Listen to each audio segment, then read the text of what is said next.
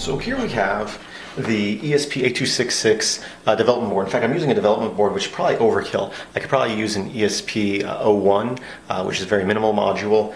Um, but I'm just using this just for the ease of powering it off USB, which I could power that off USB as well. But whatever. I'm using an ESP chip here. This is about $3.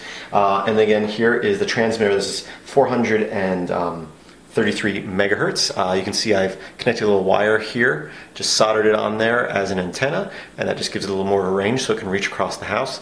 Now, I've had this set up for a week or two. It's been working great, but you know, it's just kind of sitting here on my counter. So what I need to do is make an enclosure for that. So I don't have a 3D printer or anything like that. So I'm gonna make mine out of wood. So I'm gonna go and do that now.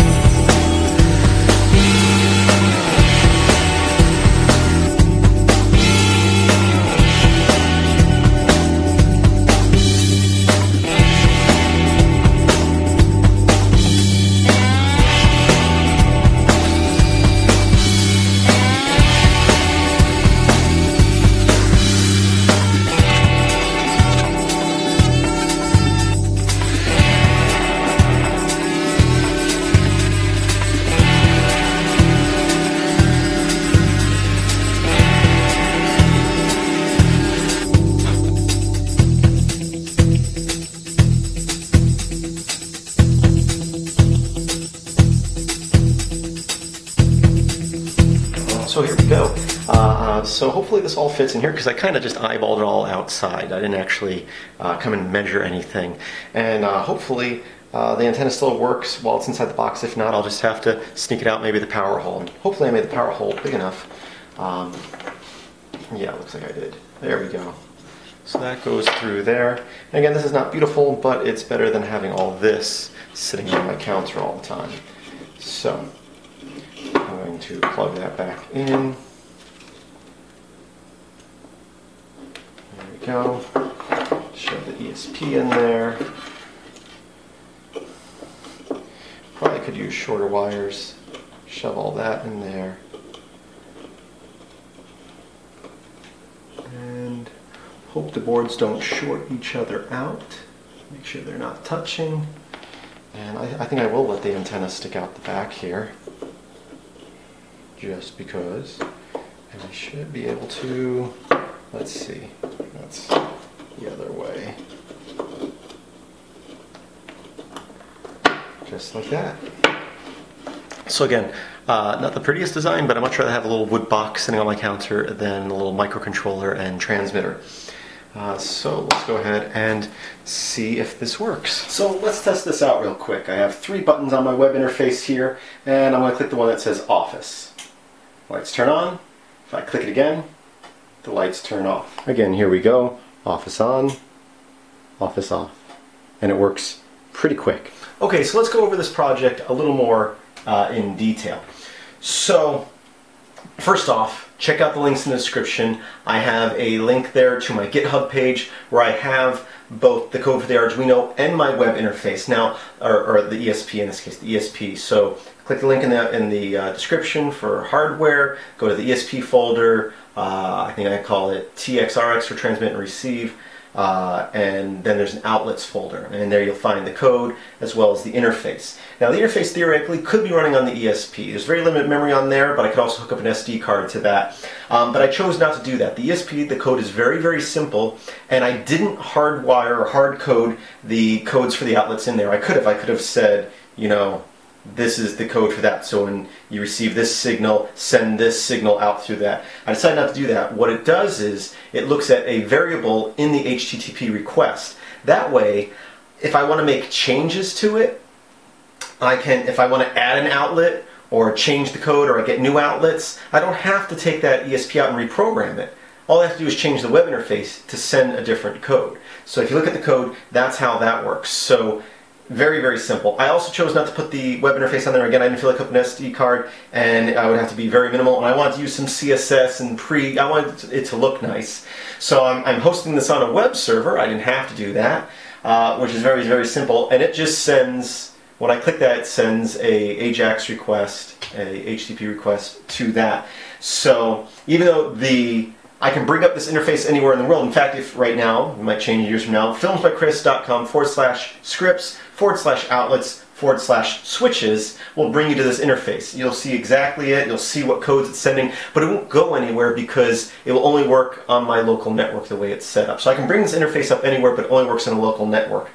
But it's very, very great. If I want to change the look and feel of the buttons, or if I want to have more than one interface, I can have this interface or a different looking one. I can have uh, unlimited number of interfaces because all they do is send an HTTP request to that, that device if you're on my local network.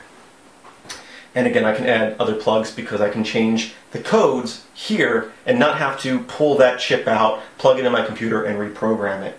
Now, uh, drawbacks to this, and this doesn't have anything to do with the ESP or the way we're transmitting, or it does have to do with the way we're transmitting away, is these outlets uh, are only receivers. So I send a signal to it and it turns on, or I send a signal to it and it turns off, you know, depending on what signal I send. It does not communicate back. So in the web interface, I can troubleshoot and say, okay, I can communicate with the ESP, and the ESP communicates back by, by echoing out what number you send to it, so you know that that's working, and you know that it's sending a signal. You can test that, but nothing comes back from the, the outlet. So for some reason, it's out of range or, or it's not working. I click here, it says office lights on. The lights may have not come on uh, if it's out of range, something like that. In fact, right now, because I did it on my phone and not here, it says office lights are on, but they're off right now. So the way I wrote this interface is every time you come to it, the switches automatically say off, even if the lights are on. So if the light is on and you want to turn it off, you're going to have to click the button twice when you first come there. Um, the only way around this that I can think of if, is if you put some sort of light sensor or something in line with the power that communicates with the ESP, but that's just, just overkill. Uh, you could do that. So this is a drawback compared to the other option I was talking about where I had a smart outlet uh, that ran Linux that I was able to SSH into and set up a web server and interface with it that way. That one could communicate back and forth and it could tell me whether the light's on or off. There's no communication back and forth. It's just we send a signal to the outlet, and hope that it got there and it does what it's supposed to do. Um, but once you have it set up, if they're in range, they're pretty much always going to work, you know, unless you move the antenna or something like that. So yeah, the biggest drawback is every time I turn this on, it's going to say all the lights are off, even if they're not, and you'll have to double click one of the buttons to turn them off if they're already off. But it's great that I can sit here, I can sit here at my computer, it starts getting dark, I don't even have to bring out my phone, I can just bring up this web interface here and click it and turn on lights here or in the other room. Another great thing about this, again, it's since it's HTTP requests, I can send wget or curl I can use to communicate with this ESP as because it's just anything that can connect to the internet can communicate with these devices if they're on the local network. So um, if I know sunset is at a certain time, I can set a cron job on, on my desktop computer, or I'd probably do it on my Pogo plug, which is my server running all the time, to run at 8 o'clock. All it does is wget command, sends it to that uh, ESP, and it turns on the lights. And then I can say, okay, 10 o'clock, or every time I normally go to bed, it can have them shut off, uh, which is great, or, or whatever you want. So Again, I set the ESP so it's very, very simple. It just retrieves the code and whatever code you send it sends out. So now you can do anything on your desktop, phone, tablet, server, whatever, and just using basic HTTP requests, it sends it there. So again, you can set uh, a loop to, to do something at a certain time, or a cron job would be better if you know a certain time. You can say Monday, Thursday, and Friday at 8 a.m. turn on the lights, and at 10 o'clock turn them off.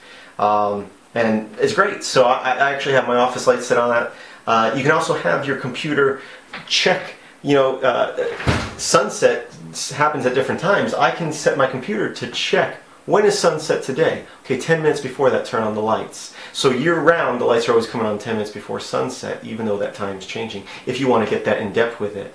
But again, since I set up the ESP very, very simple, other computers, and it can be a number of computers, could be doing all the other heavy lifting, and I never have to. I never have to pull that out of that box to reprogram it. It's all set. The only time I need to pull it out is if it broke and I need to put a new one in there. So anyway, uh, I've talked long enough. I've talked too long. but you're thinking the same thing.